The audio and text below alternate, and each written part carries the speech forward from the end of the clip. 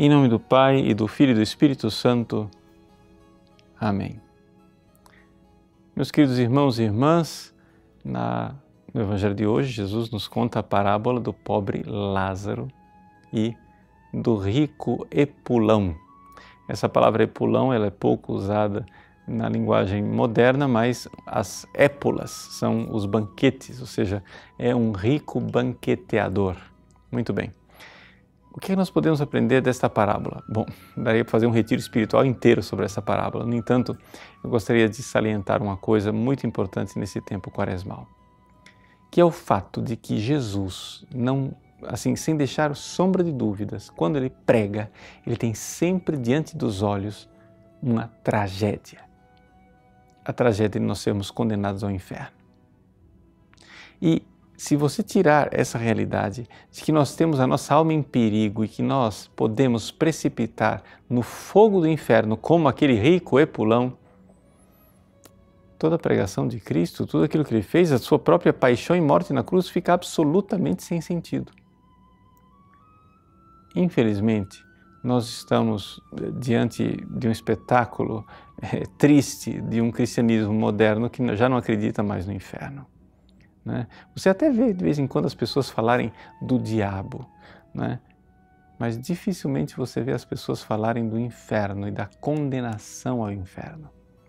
Mas se não existe inferno, se não estamos com a alma em perigo, se nós não podemos nos perder eternamente, então nós nos tornamos homens e mulheres para além do bem e do mal. Ou seja, peque do jeito que você quiser, você nunca será punido. Qualquer pai de família, qualquer mãe sabe exatamente qual é o resultado disso.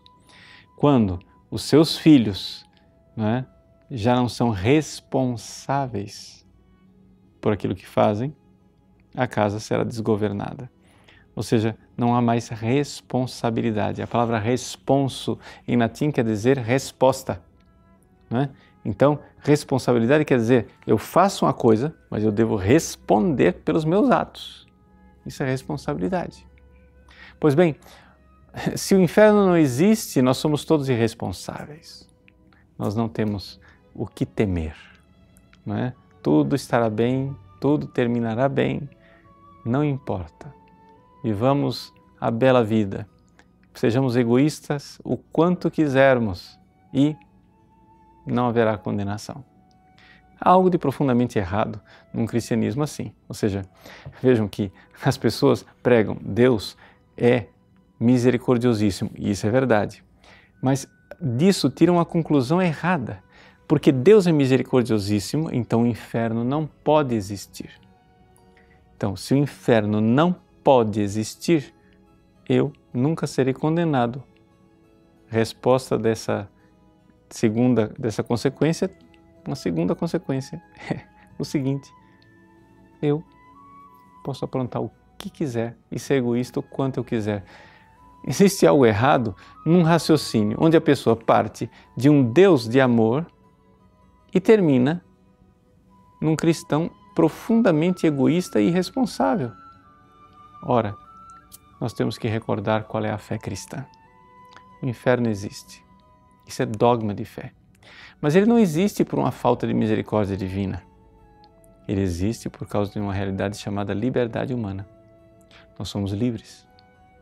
Livres e podemos escolher. Podemos escolher rejeitar Deus, rejeitar o amor, ser egoístas e crianças irresponsáveis. A parábola do pobre Lázaro e do rico Epulão nos recorda: o inferno existe e ele não tem retorno. Por mais que depois da morte o rico queira suscitar a misericórdia do pai Abraão, que pelo menos o dedinho do Lázaro vá lá saciar a sua sede, que pelo menos lá o Lázaro ressuscite e mostre para os outros, para que não termine nesse lugar de tormento, parece que ali as coisas já se tornam inevitáveis. O rico já não é mais ouvido, sabe por quê? Porque ele não está mais no tempo da misericórdia, ele está no tempo da justiça. O tempo da misericórdia É agora. Clamemos agora por misericórdia e mudemos de vida. Que Deus abençoe você. Em nome do Pai, e do Filho e do Espírito Santo. Amém.